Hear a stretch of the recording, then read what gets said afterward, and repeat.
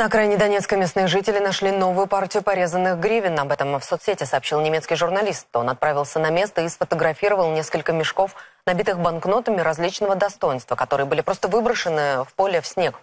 По словам очевидцев, речь идет о миллиарде гривен. На мешках есть наклейки одного из украинских банков.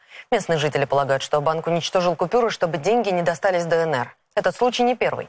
Кредитные организации начали уничтожать наличность после того, как Киев объявил Донбассу экономическую блокаду, и Нацбанк Украины прекратил доставку денег в районы неподконтрольные киевским властям.